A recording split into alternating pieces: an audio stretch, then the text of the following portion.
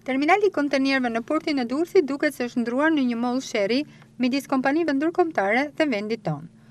Konkretisht, kompania Kurum ka vendosur ta dërgojë çështjen në arbitrazhin ndërkombëtar. Beteja ligjore mes dy palëve është zhvilluar edhe në Shqipëri, por kompania koncesionare humbi procesin gjyqësor dhe tashmë i është drejtuar një gjykate ndërkombëtare. Çështja është regjistruar më 23 shtator në Qendrën Ndërkombëtare për Zgjidhjen e Mosmarrëveshjeve për Investime në Uashington nga shoqëria Durrës Kurum Shipping, Durrës Container Terminal dhe dy investitorë të tjerë të këtij terminali.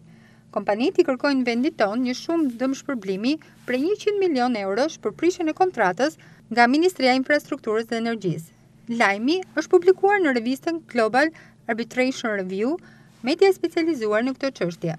Kompania Kurum ka lidhur një kontratë në qershor të vitit 2011 me Ministrinë e Transporteve dhe Punëve Publike për të marrë të drejtën ekskluzive të operimit në terminalin e kontenierëve për 35 vite.